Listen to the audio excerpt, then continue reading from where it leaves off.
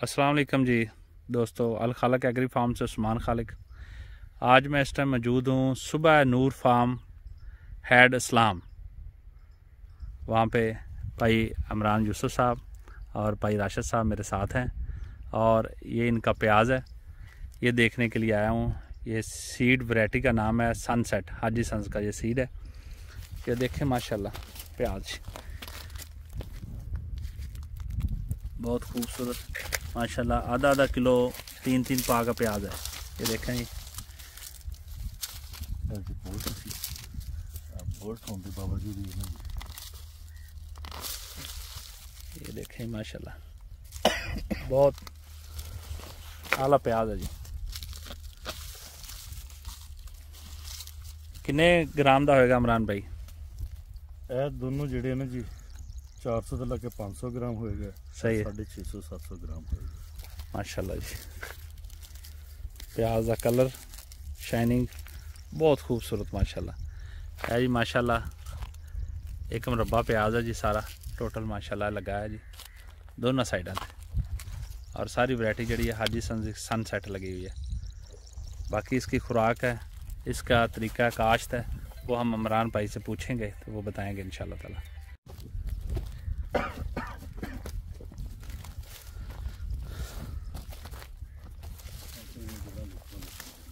ये एक छोटा बेड है जी।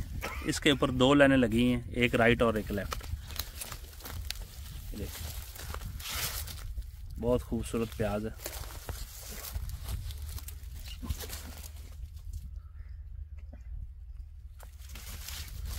हर लाइन माशाल्लाह एक से बढ़कर है।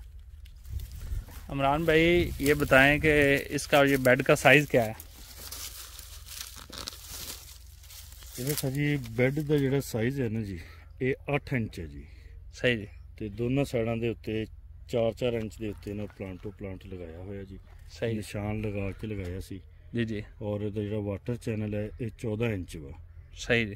ਔਰ ਇਹਦੀ ਇਹਨਾਂ ਤਕਰੀਬਨ ਜੀ 120 ਖੇਲ ਜਿਹੜੀ ਹੈ ਨਾ ਜੀ ਜਾਂ ਬੈੱਡ ਉਹ ਇੱਕ ਏਕੜ ਚ ਨਿਕਲੇ ਆ। ਸਹੀ ਜੀ। ਔਰ 1 ਲੱਖ 60 ਹਜ਼ਾਰ ਪੌਦਾ ਜਿਹੜਾ ਨਾ ਜੀ ਪਰ ਏਕੜ ਸਹੀ ਇਹ ਲੱਗਾ ਜੀ ਇਹਦੇ ਉੱਤੇ।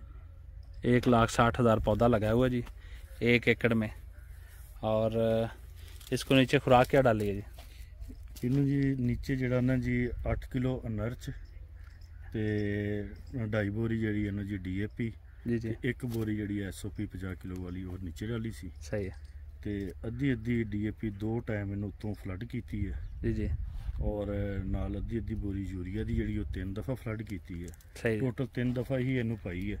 ਜੀ ਜੀ। ਦੋ ਦਫਾ ਇਹਦੇ ਨਾਲ ਅੱਧੀ ਦੀ ਬੋਰੀ ਡੀਏਪੀ ਸੀ ਔਰ ਨਾਲ ਦੋਨੋਂ ਦਫਾ ਹੀ 2-2 ਕਿਲੋ ਸਲਫਰ ਸੀ। ਔਰ ਦੋਨੋਂ ਦਫਾ ਹੀ ਨਾਲ ਜਿਹੜਾ ਨਾ ਸੀ ਹੋਮਿਕ ਸੀ। ਸਹੀ ਜੀ। ਉਹ ਵੀ ਨਾਲ ਫਲੱਡ ਕੀਤਾ ਜੀ। ਤੀਸਰੀ ਵਾਰੀ ਨਾਲ ਪਟਾਸ਼ ਪਾਤੀ ਸੀ। ਸਹੀ। ਸਾਨੂੰ ਇਮਰਾਨ ਭਾਈ ਦੀ ਡੇਟ ਆਫ ਸਵਿੰਗ ਉਹ ਵੀ ਜ਼ਰਾ ਥੋੜਾ 11 ਤਰੀਕ ਤੋਂ 11 ਨਵੰਬਰ ਤੋਂ ਲੱਗ ਕੇ ਤੇ 18 ਨਵੰਬਰ ਤੱਕ ਇਹ ਜਿਹੜੇ ਨਾ ਜੀ ਇਹ ਟ੍ਰਾਂਸਪਲਾਂਟ ਹੋ ਗਿਆ ਸੀ। ਬਿਲਕੁਲ ਸਹੀ। ਭਾਈ ਭਾਈਆਂ ਇਹ ਵੀ ਦੱਸੋ ਜ਼ਰਾ ਦੋਸਤਾਂ ਨੂੰ ਵੀ ਇਹਦੇ ਉੱਤੇ ਕੋਈ ਮੌਸਮ ਦਾ ਪੈਸਟ ਵੀ ਆਇਆ? ਹਾਂਜੀ ਇਸ ਦਫਾ ਜੀ ਇਹਦੇ ਉੱਤੇ ਬਹੁਤ ਮੌਸਮ ਦਾ ਇਫੈਕਟ ਆਇਆ ਜੀ। ਪਹਿਲੇ ਨੰਬਰ ਤੇ ਤੇ ਜਿਹੜਾ ਨਾ ਸਰਦੀ ਜ਼ਿਆਦਾ ਹੋਈ ਉਹਦੀ ਵਜ੍ਹਾ ਤੋਂ ਇਹਨੇ ਬੋਲਟਿੰਗ ਬਹੁਤ ਜ਼ਿਆਦਾ ਕਰ ਲਈ। ਓਕੇ।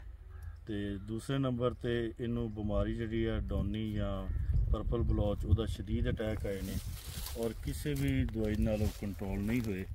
ਲੇਕਿਨ ਅੱਲਾਹ ਤਾਲਾ ਦਾ ਸ਼ੁਕਰ ਆ ਥੋੜਾ ਜਿਹਾ ਗੇਤਾ ਲੱਗਾ ਸੀ ਤੇ ਇਹ ਜਿਹੜਾ ਨਾ ਜੀ ਇਸ ਤਰ੍ਹਾਂ ਦਾ ਹੋ ਗਿਆ ਨਹੀਂ ਤੇ ਇਹ ਜਿਹੜਾ ਨਾ ਜੀ ਜ਼ਿਆਦਾਤਰ ਖਰਾਬ ਹੀ ਹੋ ਜਾਣਾ। ਜੀ ਜੀ ਬਿਲਕੁਲ ਸਹੀ। ਹਾਲਾਂ ਦੇਖੋ ਨਾ ਜੀ ਇਹਨਾਂ ਦੀਆਂ ਜੜ੍ਹਾਂ ਕਿਤਨੀਆਂ ਯਾਨੀ ਕਿ ਹੈ ਹਾਲੇ ਵੀ ਹੋਰ ਵੀ ਵੱਧ ਸਕਦਾ ਸੀ ਲੇਕਿਨ ਇਹਦਾ ਪੱਤਾ ਪੁੱਤਾ ਹਰ ਚੀਜ਼ ਬਿਮਾਰੀ ਦੀ ਵਜ੍ਹਾ ਤੋਂ ਖਤਮ ਹੋ ਗਿਆ। ਸਹੀ ਹੈ।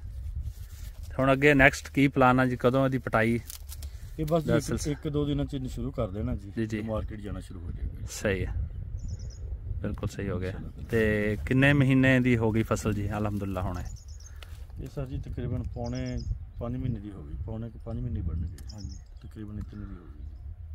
ਤਕਰੀਬਨ ਅਗਰ ਹਾਂਜੀ ਪੌਣੇ- ਔਸਤ ਅਗਰ ਖਰਚਾ ਲਾਇਆ ਜਾਵੇ ਫੀ ਏਕੜ ਜਿਹੜਾ ਹੈ ਉਹ ਕਿੰਨਾ? ਇਹ ਤਕਰੀਬਨ ਜੀ ਕੋਈ 3.5 ਲੱਖ ਰੁਪਏ ਤੇ ਖਰਚਾ ਆ ਚੁੱਕਿਆ ਜੀ। ਸਹੀ ਹੈ। ਤੇ ਬਕਾਇਆ ਹੁਣ ਪਟਾਈ ਦਾ ਜਿਹੜਾ ਖਰਚਾ ਉਹ ਲੈਦਾ ਹੋਏਗਾ ਜਾਲੀ ਜੂਲੀ ਦਾ ਜਾਂ ਪਟਾਈ ਦਾ ਉਹ ਲੈਦਾ ਹੋਏਗਾ ਜੀ। ਸਹੀ। ਬਸ ਸਪਰੇਵਾਂ ਨੇ ਇਸ ਦਫਾ ਬਹੁਤ ਸਾਰੇ ਸਾਡੇ ਐਕਸਪੈਂਸ ਕਰਵਾਤੇ ਆ। ਜੀ ਜੀ। ਤੇ ਇਹਦੇ ਉੱਤੇ ਕੋਈ 27 28 ਸਪਰੇ ਤੇ ਹੋ ਚੁੱਕੇ ਨੇ ਜਲਸਾ ਦੂਸਰਾ ਇਹ ਦੱਸੋ ਨੈਕਸਟ ਇਹਦਾ ਜਿਹੜਾ ਹੈ ਰੇਟ ਅੱਛਾ ਹੈ ਮਾਰਕੀਟ ਦੇ ਵਿੱਚ?